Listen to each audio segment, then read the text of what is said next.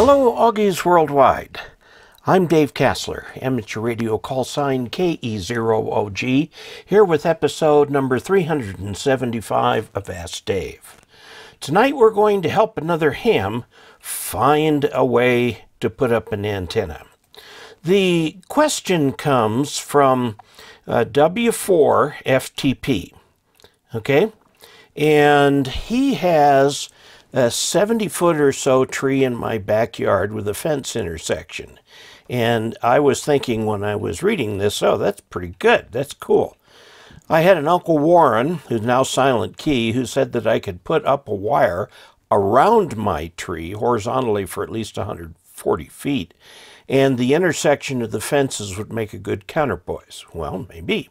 If you want to check me out at Google Maps, there's his address, and we are going to take a look. I'd like your opinion. I'd like to run a 20 meter 40 meter wire, and whatever I can get with the balance of the tree. Would I be running into issues doing that? Well, don't know till you try it. What should I look out for? Well, you're going to need to look out for a bunch of power lines that I saw. I need an experienced opinion. Thank you for your time and 73. Now, on QRSAD, he says his HF rig is a Ten-Tec Omni D. It's an older rig, but a very good one. That was the top of the line Ten-Tec at the time, probably 20, 25 years ago, with a Cushcraft multi-band vertical. Well, let's go take a look. Okay, here we are looking at his home. Um, if we go down a little bit, we see that we're at a street corner and we're kind of on a hill a little bit. He's got a, a water gutter there for a storm drain. And he has this home on the corner. He has this big tree out here. Uh, well, it's big by standards of where I am. This is about the height of the trees out where we are. Now, note he's got power lines running right here, including the high tension wires. Now, if you were to look across the street, you would actually see, oh, you'd have to see it right there. Uh, let's, let's go up. And you see he's got high tension wires running right there.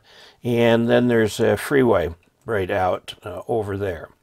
Okay, so this is the home that we're looking at. Let's get a north up view of it again.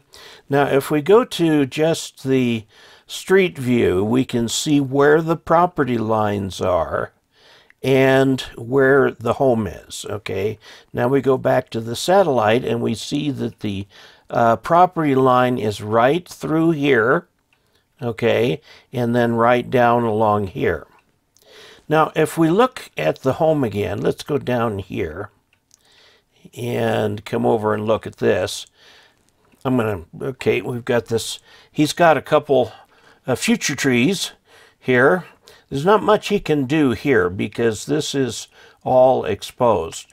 We note he's got a flagpole right here, uh, which could be loaded. I mean, if this is a traditional flagpole, you can come up and do a gamma match on it like that and get uh, whatever kind of a, an antenna you would want on that. So um, we've got that to work with.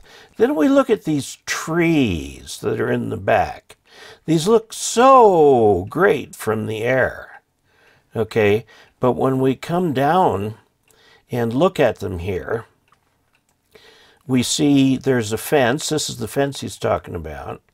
And let's just scoot over here just a little bit more. Okay, here, here is the fence that he's talking about right here. This is his property corner, and these um, these are the trees that he's talking about. Again, he's got high tension wires right there, okay, and other wires around here. So lots of wires, lots of potential for uh, interference. Now let's go back and, and look at that front view um, again. The internet is not the fastest tonight it's ever been. Okay, I, I want to go over here. And, well, let's just look at these trees right here. One of the problem with these trees is that they are thin. They are very thin. These are not the kind of trees that you climb. You you know maybe a child or a I don't know a cat could get up here into the tall parts of these trees, but you're not going to get uh, much around it. If you're going to wrap a wire around this tree, what you are going to have to do is get uh, one of those uh, lifts, a man lift, that you can park right here or park in the backyard, wherever, and then start uh, winding your wire around that tree. I would not wire it as a big coil, but rather kind of draped and sort of semi around the thing until you get up as uh, high as you want to go, because uh, otherwise you're introducing a lot of inductance. Now, use insulated wire, of course, uh, because if the uh, uh, if the uh, uninsulated wire bonds with the tree, it can short. So you don't want to do that. Use insulated wire. Now, what you could do, and this is what he was was asking, was whether he could use the fence here as a counterpoise.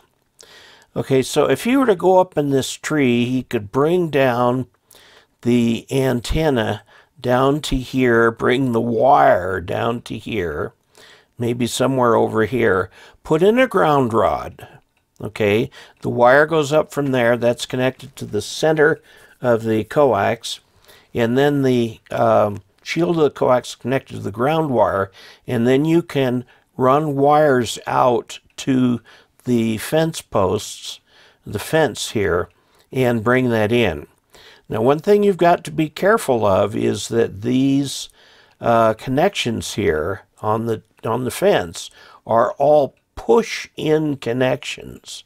They are not soldered or anything like that. You may have to get a little bit of grounding wire and some hose clamps and bind the wire across the connectors so that it's it's well connected. But yeah, it could act as a counterpoise for this. It'd be very interesting to see.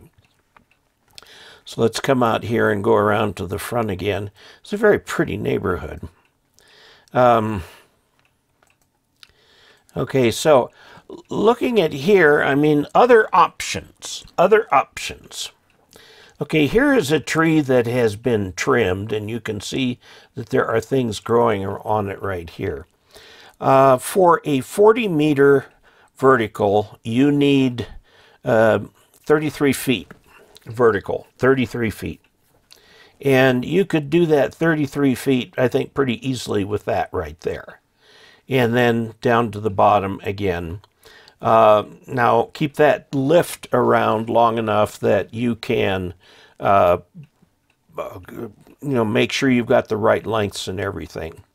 Now, note 33 feet for 40 meter dipole, 66 feet, which would be way up in here, would be an 80 meter uh, vertical. I said 40 meter dipole, I meant 40 meter vertical. One of the problems, of course, is that these trees are going to way sway in the wind, okay?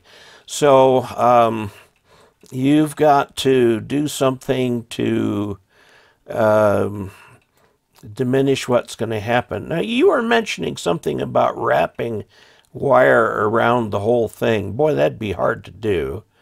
Um, but if you did that, if you've somehow overcome gravity and did that, uh, you could uh, treat this as a long wire antenna. Uh, you could use against the fence as a counterpoise, but uh, treat it as a long wire. You would need a wide range tuner to do that. And another thing you could do is take a wire from, say, up here, which is a reasonable height, to this tree, to this tree, back over to this tree, and then back over to here. Although remember, this this one, these aren't going to sway much in the wind. They don't have much foliage, but these will way sway in the wind. So you've got to do something to make sure you don't break that wire. You could just bring it to the top of the flagpole. Now, I don't know where your um, vertical is hidden. It must be behind the house because I don't see an antenna out here. And I have a feeling you'd kind of like to keep it that way. So again, this tree right here would make a very nice tree for putting up a 33 foot uh, vertical, uh, put a, ground rod at the bottom of it, either run radials, which is what I'd recommend, or uh, use the, uh, the fence as a counterpoise. I would recommend running radials.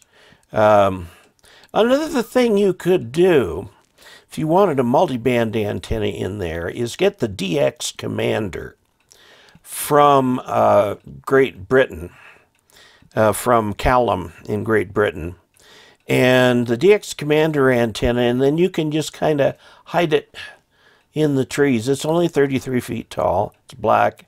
Hide it in the trees. It's the equivalent of a fan dipole, except it's a fan vertical. And you could just stick it up in here, nobody would see it. You do want to run radials for that out there. So I uh, commend your gardening skills and your grass cutting skills. You live in that part of the country where you have to uh, take care of your yard or it'll take care of you, I'll tell you. Okay, so there we have it. This is uh, a look at uh, what we can do here. Let's go back. Okay, Thank you very much for your time today. We've taken a look at uh, W4FTP and some options that he has had and uh, offer those to him. Please comment on this video. Please comment and say, well, here's something else he could do, or have you tried this, or have you thought of this, or here's what trouble you might have with grounding. This is where the comments really come in helpful. By the way, just as a little update for myself, I got my vaccine today for COVID 19 and I got rid of that silly boot. I am now officially healed from the broken ankle. So, to celebrate that, if you would like to help provide any uh, financial support to this channel, you can go to uh, let's see, dcasler.com slash support. And until we next meet, 73.